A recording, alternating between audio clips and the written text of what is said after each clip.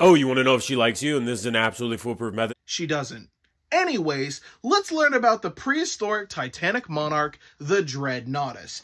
The name Dreadnoughtus translates roughly to fear nothing, and the reason it gets that name is because of its colossal size. It's very unlikely it had any natural predators outside of other Dreadnoughtuses. It lived during the Cretaceous period and its remains were found in Argentina. It is argued to be one of the largest animals to ever walk this planet. However, that title is very controversial seeing as all Dreadnoughtus skeletons found were not fully developed yet. So the title is more often than not given to the Argentinosaurus. The Dreadnoughtus clocks in at a whopping 85 feet long, and its weight is still heavily debated to this day.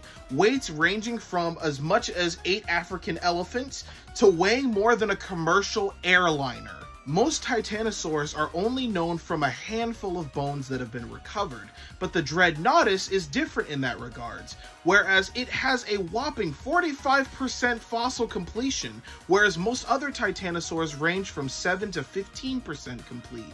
This is because every Dreadnoughtus that has been found, it has been determined that the way that they had been buried was very rapid under the sedimentary rock. So paleontologists were able to learn so much more, not only about the Dreadnoughtus, but Titanosaurs as a whole. One of the other bizarre things about the Dreadnoughtus was its bone structure.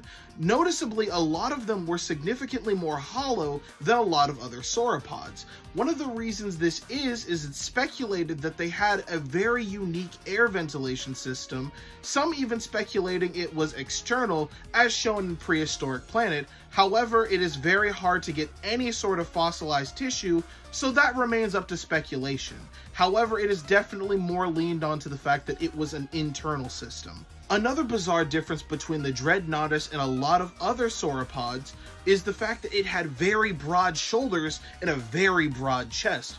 One of the paleontologists that discovered the Dreadnoughtus pointing out that it reminded him a lot of the likes of an AT-AT from Star Wars. Ah, hell yeah!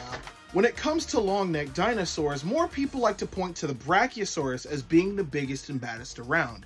However, we know that there was an even bigger colossal titan out there that truly did fear nothing.